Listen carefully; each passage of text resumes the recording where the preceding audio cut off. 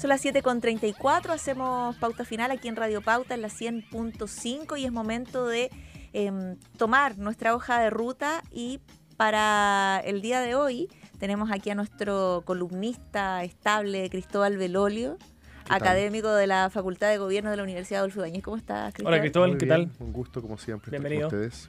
Bienvenido. Oye, tenemos hoy día un tema muy interesante del que hablar, que además lo propuso el propio Cristóbal, lo que A me ver, encanta, sí. que nuestros columnistas propongan eh, temas para debatir, para desglosar, y tiene que ver con la cultura de la sospecha. ¿Es verdad que un conductor de la radio del lado está ganando la guerra? Es que eso fue lo que dijo el sociólogo, ¿cierto? Eugenio Tironi, que le dijo a un medio de comunicación que él sentía que en Chile el que no sospechaba, el que no hacía segundas lecturas, el que no veía debajo del agua, como se dice, pasa por iluso, ¿cierto? Pasa por, por tonto, porque hay que básicamente desconfiar de todo lo que hace, especialmente los políticos, la autoridad. Eso es lo que está, bueno, ustedes que tienen mucho contacto con, con auditores, con, con- en general, la, la gente siempre, apenas aparece cualquier noticia, a veces con el puro titular, eh, pero vea, si obvio, si son así, esta idea de que siempre alguien te está... siempre- Tratando de embarrar, Sí, para decirlo en términos para ele- decirlo en términos ¿cierto? elegantes. Y, y que, y que él, bueno, Tironi, ¿cierto? Dice, dice sin desmerecer, por supuesto, la, la carrera, la trayectoria, ¿cierto? Las habilidades comunicacionales de, de Tomás Mochati. Él dice, me da la impresión de que Mochati ganó, dice. Así, lo- así lo Sí, sintetiza. así le, lo- le pone como cara y nombre a, a esto de estar permanentemente buscando una forma de eh, desconfiar, de sospechar, ¿cierto? De todo. De Sí. todo, de lo que se mueve. Mochati que tiene un estilo que, Que ha tiene. cultivado hace, ¿cuánto hará? ¿20 años? Exacto, yo creo que en, eso- esa, en esa lógica. A eso se refiere, como que eso finalmente se impuso. Eh, que no es que sea, que no es que él sea el, líder del movimiento. Yo creo que lo que pasó, Cecilia, ahí es que a propósito de lo que hablamos hace un, un par de semanas sobre populismo, ¿se acuerdan? Yo creo que esta es la marca registrada del populismo. Mm. O sea, si, si el populismo es esta comprensión, esta narrativa adversarial, donde hay una élite, ¿cierto?, que te quiere eh, embarrar, como decíamos, ¿cierto? Y, una, y un pueblo que es la víctima, ¿cierto?, de las malas artes, de, estas, de, estas, de estos poderosos que se quieren llevar la pelota para la casa, que, que secuestran los beneficios del progreso, que siempre andan en algo. Ajá. Hay un paper que me gusta mucho que dice, eh, The elite is up to something, algo se trama, no es que sean malos, en el sentido como de maldad moral, Mm. pero, pero siempre están jugando para ello y, si pueden dejarte, digamos, el intemperie, lo van a hacer. Eh, y, y yo creo que ese es un poco la marca registrada, como te decía, la- la- la- el pensamiento de la teoría conspira- conspirativa de nuestro tiempo es muy propio de- del- del clima populismo y ahí yo creo que no se salva nadie. Cristóbal, pero no hay razones, déjame ser de abogado del diablo, no hay razones como para pensar eh, en que, en- o para justificar más bien el surgimiento de esta cultura de la sospecha. Puede o sea, tenemos 100 comunas a lo largo del país, no, no estoy tirando el número al voleo, más de 100 según la Contraloría Ah. que están siendo investigadas por eventuales casos de corrupción, algunos más graves que otros. Eh, tenemos abogados ahí en- involucrados en un caso como el caso Audio, empresarios de la élite, ahí metidos en un problemazo con delitos gravísimos de lavado de activos, entre otras cosas, estafa. Y si nos vamos para atrás, ya los casos de colusión, que el- los pollos, el confort, los buses, o sea, hay un montón de antecedentes que uno diría, bueno, chuta, la ciudadanía con razón desconfía, ¿no? Sí, bueno, yo desconfiaría de un termómetro que no marca la fiebre. Yo desconfiaría que me dijeras que está todo bien, porque estamos trabajando con maderas torcidas, como se dice, que somos nosotros. Y mucha de la gente que se queja, una vez, el- una vez que la pones en esa misma situación, Mm. se comporta de la misma manera. Hay ciertas inercias, somos, ¿cierto? Les gusta jugar para nuestro equipo, somos todos medios nepotistas, por eso justamente además hay reglas que, lo, que, lo, que tratan de, de- de evitarlo. O sea, creo que todos los casos que tú mencionas, evidentemente son casos de distinta gravedad. ¿ah? Sí, a veces también nos ponemos escándalo por lo que pasó en Becas Chile. Es una cuestión mínima el, el, el- es el sistema de retribución de becas digamos, más filete de, de- Sí, no digo era- Latinoamérica, era- era del mundo. Eh, o sea, el porcentaje que exacto, o sea, muchas veces también estamos como buscando eh, la, la forma de enlodar a veces Ya, cuestiones. pero que la expareja de un parlamentario republicano salga a decir, Urrutico Echea, salga a decir que cargaba con la tarjeta que le dan al parlamentario del Congreso su Eso no está bien, Eso no está bien, eso no está bien. Pero o sea, lo- no, ayu- no ayuda al- al- a la idea de la confianza. No, y, y- pero quizás habría que ir eh, caso a caso. Volvamos al tema de, la, de las, em, de, en este caso no de las becas, pero me acuerdo cuando se dieron los Fondesit, em, los Fondesit regular ahora en enero, febrero, enero creo que fue, y aparecieron tres, tres simpatizantes o ex colaboradores del oficialismo, creo que estaba Atria, Humada y Lucía Damet, puede ser, entre 780 personas que se ganaron eh, y con, ciertas credenciales académicas, tan lejos de ser santos de mi devoción, pero, pero los tipos tienen más paper que cualquiera Mm. de los comentaristas de MOL que puso ahí como, es obvio, todos ustedes son todos iguales, cortados por la misma tijera. O sea que tenemos una gana, tenemos ganas de, para obviamente estar en el lado de los buenos, es muy importante saber quién está en el lado de los malos. Mm. Entonces, mientras más yo hago una especie como de guerra preventiva y me animo a ponerle al otro la etiqueta de que es el corrupto, de que es el, el- el malo, yo quedo como más tranquilo. Claro. Pero, pero, pero, pero- del lado correcto de la película. pero como decía el cura Berrío, yo en esto creo que tenía razón, más allá de lo que le pasó después en el estallido, decía, eh, decía, todos tenemos un penta chiquitito. O sea, como que de alguna manera todos... Alguna vez todos nos hemos quedado con un lápiz. es- ¿Sí? alguna no? vez todos... no- y, y- y no estoy diciendo con esto que no haya que ser tremendamente eh, severo con los casos en los cuales Sí, hay sí, sí. cuestiones grandes metidas, pero, pero en general, y, y lo digo en el contexto latinoamericano, porque no somos Noruega, ¿cierto?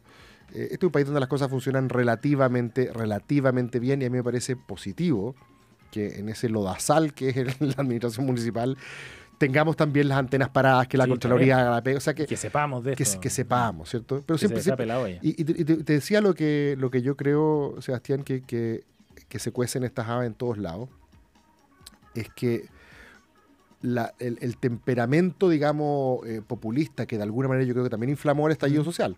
Tú bien dices Mm. los casos tanto de colusión empresarial como los casos eh, de, de financiamiento ilegal de la política Ah, fueron el caldo de cultivo ideal para que la gente saliera a la calle y dijera, aquí hay una élite política y económica corrupta Mm. y nosotros somos el pueblo, ¿cierto?, que todavía tiene demanda insatisfecha y los ponemos a usted en el banquillo de los acusados. Para Sí. mí el estallido fue un poco eso, una rebelión plebeya contra, contra el poder. Sí. Y Rodrigo Bade termina echando abajo esa, bueno, ese que, que- castillo que de te demuestra que todos tenemos un penta. Ahí está el pena. No, pero, ese, Exacto. pero ese penta era más grande que quedarse No, con un lápiz. pero- sí. pero, eh, pero, eh, eh, y, y me parece que es interesante porque desde la derecha se critica tanto el octubrismo, hoy día hasta alguien dijo por ahí los alcaldes octubristas, nada que ver, pero no importa, el- el- el- el- la, la idea del octubrismo que hoy día está tan, tan desprestigiada, eh, que ha pasado a ser un estallido electoral nomás, como que, como que no hubiera habido, digamos, una marcha la semana Ya, siguiente. pero el octubrismo, convengamos Sí. que o no se va, que fue también una plataforma para pararse desde un pedestal de sí, lo que habría, tú que, de habría que definir qué es lo que es, sí. que- Exacto, a eso en, el, en el pedestal de nosotros, o sea, en algún momento se habló de los seres de luz. Tal cual, bueno. Entonces, recordando tal cual. frases antiguas de un exministro. ¿no? Exacto, es que por ahí, para allá, para allá quiero ir, eh, Cecilia, porque me da la impresión de que el, el, estallido- el octubrismo, como se le llama ahora, que habría que definirlo bien, habría que preguntarle a, a Rafa Gumucio, a Pablo Ortúzar, un poco cuáles son los con- el perímetro conceptual del, del término. Eh, el, el- el octubrismo de alguna manera es alimentado por la cultura de la sospecha, ¿cierto? Hay una élite que aquí nos, nos- nos puso en esta situación y todo lo que viene de allá es malo. Pero yo me pregunto, ¿no hay una cultura de la sospecha también en el boicot de, de- de- de la extrema derecha al censo, por ejemplo? Eh, o sea, hay instituciones en Chile que han funcionado históricamente relativamente bien eh, y hoy día porque están en manos de nuestros adversarios políticos, eh, también nos sumamos a esta cultura de la sospecha y las echamos abajo. O sea, mi pregunta es, si es que lo que necesitamos justamente para darle más solidez a las instituciones es confianza, me pregunto yo si alimentando la cultura de la sospecha lo vamos a Mm. lograr. Y con esto te pongo un ejemplo, y que yo creo que la ministra Camila Vallejo tiene razón. Nos podemos devanear los sesos pensando en las mejores reformas políticas para disminuir la fragmentación, Sí, sí. para darle mayor gobernabilidad a quienes ganen las elecciones, ¿cierto? Sí. Para que no hayan díscolos que se arranquen con la pelota y tengan que cumplir. Pero el problema es que si nadie cumple sus compromisos después, puede escribir la mejor constitución, pero si el factor humano, por así decirlo, a la primera vuelta de cambio, ¿cierto? Se, se- se- se- da vuelta la chaqueta eh, o no cumple sus compromisos, yo veo poco, poco probable que ninguna de estas reformas realmente, aunque que entiendo que trabajan en el margen, ¿cierto? No es que vayan a cambiar la realidad política de Chile, pero yo creo que aquí falta eh, trabajar más en aprender a confiar. Me gusta lo que hace, perdón aquí por lo iluso, ¿ah? por lo ingenuo, pero me gusta lo que hace, por ejemplo, Lavín con, con Mayol, esto de buscar una especie de acuerdo de personas que hasta hace poco atrás, que siguen viendo Sí. el mundo políticamente muy distinto, pero diciendo, fíjate que yo te voy a escuchar a ti. Una dupla improbable totalmente. Sí, me, me- me parece, me parece que es interesante el espíritu. ¿ah? No Mm. conozco la propuesta en detalle, lo que quieren, pero, pero creo que nos, nos- nos preocupamos muchas veces del, del- del Pero- andamiaje duro y, y- y no, por así decirlo, del espíritu. Pero- no me quiero poner aquí predicador, pero, pero me parece que nos está faltando un poquito de, de caridad interpretativa, de escuchar lo que dice el otro y tomarlo en su mejor versión antes de tener las, los bolsillos cargados con piedra, ¿cierto? Para tirárselo al que está en el suelo. Pero, pero ahí no hay también un, un dejar hacer eh, preocupante. Por ejemplo, Jadwe con ventilador se encargó de dejar, pero no más Bueno, que también, es- sospecha. también o es sea, cultural sospecha, por cierto. eh, hizo- Totalmente. Hizo, lo, que- dijo, Mm. hizo lo que quiso, dijo lo que quiso, y resulta que la estrategia del gobierno fue bajarle el perfil. No, esto no es así, Jadwe habla porque va a ser formalizado. ¿La, pero yo no- pero yo no- no le, no le salió al camino? pero, pero nada, le, Bueno. le- le dijo que tenía que ser más humilde. O sea, él estaba metiendo al barro a la moneda, sum- sumergiéndolo como una Sí. bolsa de té. Sí. Y la ministra le dice que tiene que ser más Ya, humilde. Pero bueno, lo que me contigo. extrañó, lo que me extrañó es que en ese momento, o justo en el medio de ese momento, ¿te acordáis? Seba? Había un seminario precisamente de Boric Sí, con alcaldes. Con alcalde. con- de, de la Asociación Chilena de Municipalidades. Ya. Y lo que uno había, hubiese esperado es que el presidente, que es el encargado máximo de cuidar Sí, a las representante de las instituciones, saliera de las con instituciones, fuerza a decir que aquí no se puede instalar una duda de esta magnitud sobre las instituciones que han permitido que el país tenga una estabilidad que ya se quisiera en otros países de Latinoamérica. ¿o no? Sí, te, Y, te- toda la y razón. entonces no solo se trata de esta cosa, como tú dices, perdón, eh, ingenua o ilusa de cómo confiamos en el otro, sino Sí. que tiene que ver también con cómo quienes están a cargo de Sí. proteger las instituciones Tal tienen cual. que salir a protegerlas, Yo estoy contigo. Sobre- aunque sea un aliado, ¿o no? Mi único punto es que eh, si estamos hablando de que hay que fortalecer nuestra institucionalidad, me parece que el factor confianza es crucial, más allá de que los andamios, digamos que la estructura, que los fierros estén bien puestos, eh, y, que, y que no avanzamos en esa dirección si seguimos alimentando la cultura de la sospecha. Ese, ese es básicamente mi punto. Eh, no significa también comulgar con rueda de carreta, ¿cierto? Y creer que todo está... No, significa que uno a veces tiene que darse la lata de leer la noticia y no solo el titular. Sí. Y La- entender mejor. La culpa es de la prensa, ¿viste? no, no. Siempre es la culpa No, de la pues el prensa. que, uno- el que lee el- el- la, la prensa pone el titular, pero, pero la idea es que después lean la nota. Claro, y entender El- bien qué es lo que hay detrás. qué ¿no? fue lo que pasó, ¿cierto? Eh, porque claro, el titular siempre busca, busca un gancho y eso se entiende. Hay algunos más o menos eh, sensacionalistas, pero es uno el Mm. culpable. ¿Cuántas veces, y esto estoy pensando aquí yo en primera persona, cuántas veces yo leo un titular y me pican los dedos para decir este tal por cual, pero y después digo, Cristóbal, tómate 20 segundos, lee. Mm. A ver, ve- ve, ¿De cuándo esta noticia? ¿De dónde la sacaste? ¿Es un pantallazo? Ah, Esto es, es ya ma- harina de otro costal, tiene que ver con educación cívica en tiempos digitales, pero, Claro. eh, pero, pero de darse el tiempo, si, uno lee los comentarios de las noticias en los medios eh, digitales, ah, esto un pe- un- el, el famoso comentarista de Moles como un personaje ya icónico. Bueno, claro. Es, como, es como el soldado desconocido, ¿cierto? que, está, que está siempre con las granadas cargadas. O sea, Sí. es una Y persona da que lo mismo que tema. Da ¿eh? lo mismo, nunca lo vas a ver diciendo, mira, yo ponderaría. Los... No. Lo suyo esperando- es poner más benzina. Voy a poner ¿eh? bíblico, ¿cierto? Pero nosotros estamos esperando siempre que esté ahí alguien en el suelo para lapidarlo.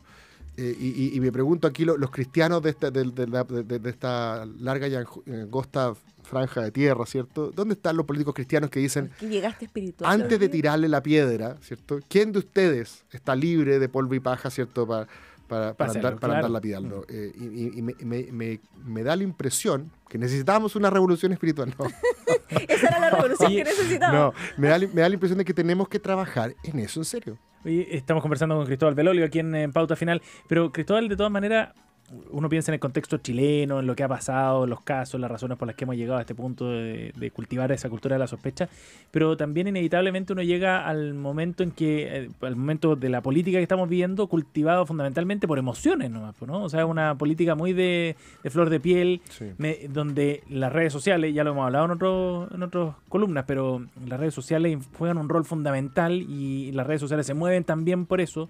Es mucho más fácil viralizar una noticia con un componente negativo. Antes que algo positivo. Entonces, eso también entra en el juego de cómo se va desarrollando la política. Sí, los, eh, los gringos inventaron esta distinción entre polarización ideológica y polarización afectiva, que algo de hecho estaba en una encuesta que, que cuando la, la primera vez que vine para acá comentamos. Eh, la polarización ideológica tiene que ver con la distancia de los actores políticos en los policies, en los temas. Pensamos distinto en educación, en salud, en previsión, en economía, etcétera, aborto. Y lo que se ha demostrado es que los partidos no han cambiado tanto respecto a esas posiciones Ajá. siguen más o menos donde siempre han estado. Son, ¿cómo se dice? Son eh, programáticamente poco flexibles. Ajá. Pero ha aumentado la polarización afectiva. Eh, Estados Unidos marca la pauta, pero ha pasado en todas partes, incluido Chile. ¿Qué es lo que es la polarización afectiva? ¿Cuán, cuán- cuánto yo detesto básicamente al tipo que está al frente? A los, a los del partido de al frente. ¿Cuán lejos estoy de que quiero que sea mi amigo, de que, de que sean compañeros de curso con mi hijo, de que se casen con, con- con los míos? Eh, cuán- ¿Cuánto yo creo que el que está al frente es un alien Ajá. que tiene valores radicalmente distintos a los míos. Y ahí Esa- se ha polarizado. y esa, esa polarización, que, porque hay mucha gente que dice en Chile, no, si son las élites las que están polarizadas. No, esto está empezando a permear hacia abajo. O sea, hubo gente que Eso cuando, hubo gente, que, hubo gente que cuando ganó el rechazo agarraba el diario y decía, ¿en qué país estoy viviendo? No puedo creer esto, porque nunca conversaron con nadie que votara... eh, eh, o sea, que votara rechazo. Claro. En, los círculos en los cuales yo me muevo, había mucho, mucho, Muy mucho sorprendido, apruebo. muy No podían creerlo. Sí. Eh, entonces me, me- me llama la. O sea, me, me- tengo la impresión, Sebastián, de que el problema de esta polarización afectiva para la democracia. Es que le hace la tarea muy fácil a los políticos porque ahora ellos saben que en vez de tener que esforzarse en complejas y sofisticadas explicaciones de política pública, a ellos solamente les basta con inflamar los corazones de la tribu propia. Claro. Y los corazones de la tribu propia se inflaman diciéndole que los que están al frente son unos desgraciados. Mm. O sea, si tú hoy, día, tú hoy día en política perfectamente podrías hacer solamente eso. Si tú eres un Sí, diputado claro. o un parlamentario, tú podrías que tu día parta a las 9 de la mañana y termine a las 8 de la noche solamente hablando mal del rival. Y con eso, te, Y con eso tienes tu nicho, Y con tu eso tienes tal cual. Entonces me parece que eso incentiva una especie de flojera de la política para crear justamente las políticas públicas que resultan, porque son las que se consensuan de largo plazo en forma trans- transversal. Claro. Entonces, por eso me parece que esto es una especie de círculo vicioso que, con todo respeto de aquellos que piensan en los fierros, en, en- en las instituciones, y las instituciones funcionan en el Sí. sentido de moderar el comportamiento de los actores políticos y por eso no, no- no desmerezco el, el refuerzo de la reforma pro- eh, política. Eh, creo que sin este, sin este, este factor humano Mm. le veo, le veo poca, poca chance. Sí, en una columna de Diana Urenque, filósofa de la Universidad de Santiago, decía que la política, pues, se preguntaba más bien, ¿por qué la política no puede, en vez de cultivarse desde los afectos que nos fraternizan, amor y dolor y otros, se incendia con emociones reactivas? La, tesis, ira, la tesis Bachelet. resentimiento. Que tenemos el que volver miedo, a hablarle ¿ah? a la ciudadanía desde el corazón. Claro, lo que pasa es que hay, hay gente que ahí confunde, y estoy de acuerdo con la Diana en todo caso, me- pero me parece que hablar del corazón también se confunde como, como la guata. Entonces, eh, no Ah, sé, pues, eh, de- desde René Alinco hasta Pamela Giles decían, cuando se discutía si, los, si los retiros de fondos previsionales eran buenos o malos, y habían nueve de cada diez think tank diciendo que era una pésima idea, y decían, es que esto no puede ser cierto, porque la guata me dice a mí que esto... Entonces, De acuerdo. ah, Pe- Pero Bachelet hay que más distinguirlo bien del desde rigor la técnico. emoción. Claro, sí. Desde la, desde la, desde la emoción. Y las desde- emociones son importantes. De hecho, me da la impresión de que no, no, no, no es posible separar ambas cosas. Eh, Hoy día la mayoría de los estudios en lo que se llama cognición cultural señalan que nuestra posición en gran parte de las materias técnicas incluso, materias que requieren cierta evidencia, igual están precondicionadas por nuestras creencias Personales. personales. O sea, eh, dicho de otra manera, yo acepto aquella evidencia que confirma mis preconcepciones Sí, y rechazo aquella evidencia que la conflictúa. Eh, y eso es normal, ¿ah? eso, eso es Eh, parte eh, eso- bueno, eso- es la base de los cómo de la funcionan las confirmación. redes sociales. Es- bueno, es- esa es la gran pregunta. También. Las redes sociales no inventaron nada nuevo, pero parece que le echaron, Benzín. le echaron benzina a un mecanismo ans- Esteroides. ance- ancestral que, que- que nosotros como Homo sapiens veníamos, digamos, ya lo teníamos. Muy bien. Eh, son las 7.53, Cristóbal, y eh, tenemos una recomendación estupenda, tal como la de la semana pasada. Sí, la para la- quienes la nos semana escuchan pasada y nos los- ven a través de nuestro La streaming. semana pasada los mandé a tomar vino, eh, ahora los voy a mandar a leer. Y estuvo bueno a propósito, Sí, boca morado, ¿no? estuvo bueno. ¿Sí? Al final no me acuerdo mucho, pero sí, estuvo bueno. Pero llegaste con la boca morada. Vaya que sí. Eh, no, y rico también el lugar, el, el muta, está bueno. Eh, quiero recomendar un- una novela que cuenta la historia novelada, insisto, de Vladimir Putin al poder, eh, que se llama El mago del Kremlin, que es una novela de Giuliano de Empoli, que es un italiano, digamos, pero experto en política rusa, y que está bueno para contextualizar la guerra de Ucrania, no para empatizar, digamos, con, la guerra de Ucrania, pero para entender el frío y descarnado realismo desde el cual opera el Mira. poder ruso, especialmente Putin, eh, y, y- y entender también que gran parte de esta discusión de si Putin es de derecha o es de izquierda, y que, que de repente estamos Sí. medio Sí, sí. perdidos, no entendemos por qué Hugo Gutiérrez le presta ropa, si en verdad es aliado. Y, y- y nos damos cuenta de que gran parte de la política eh, exterior rusa y de la forma como Putin ha consolidado su poder tiene que ver con una especie de recomponer la autoestima ¿eh? de un pueblo absolutamente Claro. destruido después de, haber perdido la Guerra Fría. O Claro. sea, tiene mucho más que ver con una clave emocional, probablemente, como decía Cecilia, ¿cierto? Eh, y geopolítica, que con una clave ideológica a la antigua, más Estado, más mercado, más bueno. liberal, más conservador. Está bueno, se llama El El, mago del Kremlin. el mago sí. del Kremlin. Bueno, el recomendado de Cristóbal Belolio, nuestro invitado para hoy aquí en Pauta Final. Gracias, Cristóbal, que esté muy bien. Gracias, Cristóbal. Buenas Gracias recomendaciones